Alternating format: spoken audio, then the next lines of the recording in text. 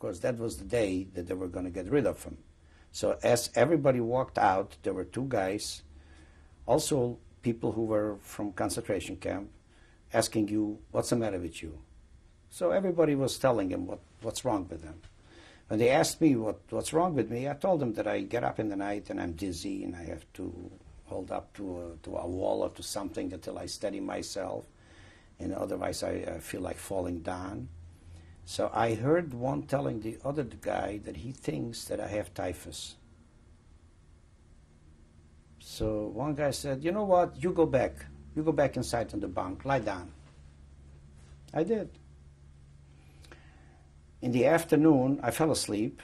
It was in the morning, I don't know, 8, 9 o'clock or so. In that afternoon, I got up. The whole place is empty. There's nobody there. And I asked the guys who are in charge, the Stubendienst there, I says, where's everybody? So he looks at me. He says, you don't know? I says, no, I don't know. He says, they, they took them all, they took them all to, to be gassed. So it like shook me up.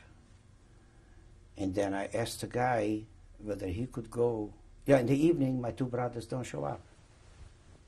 They don't show up because later on they told me one of them had a Jewish calendar somehow smuggled in. He already put down the date of my death because they heard the whole place is emptied out, so I'm, I'm gone too. So they put down the date when I died. I mean, in case they ever come out, so they have at least a date. And I went over to the guy there and I tell him, listen, I'll give you my bread, my ration. Go tell my brothers and ask them why they're not coming. I didn't realize it that they already know that I'm not here anymore. So he took my bread and he never went to notify them. Well, these blocks were not any further away than here houses are from each other. So next day I begged them and I cajoled them again and again and again. So in the evening, he finally took away against my ration, or, or the additive that was with the ration, maybe a piece of horse uh, salami or whatever they gave you. And he went and he notified them. And I remember like today when my two brothers came to the window, it like they look at somebody who just got up from the dead. And they started crying and begging him and see, get out of here, get out of here. It's, I says, I feel a little better now. I'm going to tell him and I'm going to try to get out. And sure enough, the next day, I really, you know, picked up a little strength and I was feeling a little bit better. That was like a, like a miracle that this guy takes my pulse and he says, I think he has typhus, and he sends me back to the, to the, to the, like an angel showed up there. I mean, if I think back today, it like, it's like a guardian angel showing up and says, you go back inside. If I would have stayed outside, I would have really been gone.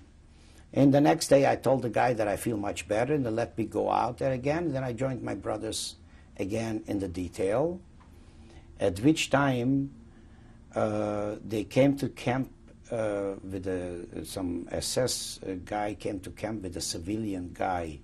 Still remember his name was Mr. Mueller. He was an elderly gentleman, and they introduced him that he is a bricklayer master, master bricklayer. And he's looking for some young people whom he wants to train and give them schooling in bricklaying. So they tell us that whoever will volunteer They'll have a chance to be inside a building the whole day. And they will teach us how to become masters in bricklaying. So I said, it's better than going out to, to work. So I volunteered, and my brother, my middle brother, also volunteered. And they took us away from Birkenau to Auschwitz, to the main camp now. And there, they erected in one of the blocks on the third floor a place, as today as you would picture a basement in somebody's house, where they bought a lot of bricks, dry bricks, no mortar, and this civilian came in every day to give us lectures on how you're supposed to lay bricks. Without any cement, just dry. Show how to make corners, how to make walls, and how to keep them straight, and how to pull a string across, and how to use a a Wasserwaage, a level, which is mean. And but we picked up a little strength. It was it was like a relief from what we were going through up until now. I mean, not a comparison. First of all, in the place of work, you didn't get beat anymore because this German civilian, he didn't, he might have yelled at us, but he did not beat anybody. And we were no, under no uh, SS guard supervision inside the block. So it was like uh, going from, from hell to paradise all of a sudden. You had, you get your, you had your, uh, you get your ration of uh, drinking, of, of your coffee or your tea, you got your bread. And, and we began uh, picking up a little bit strength and putting on a little weight, if I can say so. I mean, if you can picture today, that, that, that uh, you know, when, when you're a skeleton, to put on a little weight under these conditions is very easy. It doesn't take a lot. But it was a big, a big relief, and I feel today that if it wouldn't have been for this chance that my brother and I got in this place, that uh, things probably would have ended up uh, with me never coming out of there. And, and little by little, we gained more and more strength, and it came to a point where they took us out there from there now from the Auschwitz camp back to Birkenau and put us now on the real buildings to to start perform, to do a job. Now, so the beatings now came, started uh, being again because now we had already the old supervisors and so forth.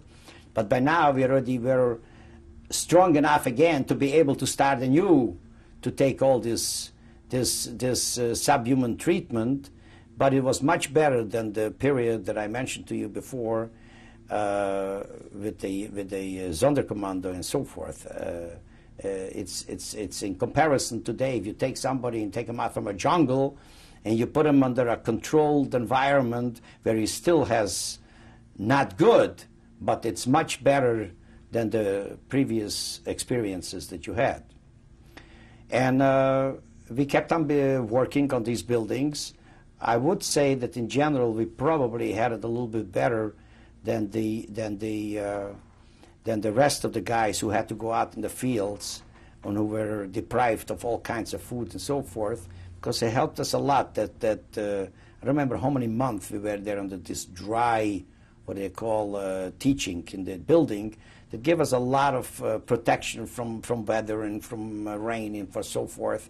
And you had a quasi a decent kind of food, if you can say so, in a concentration camp.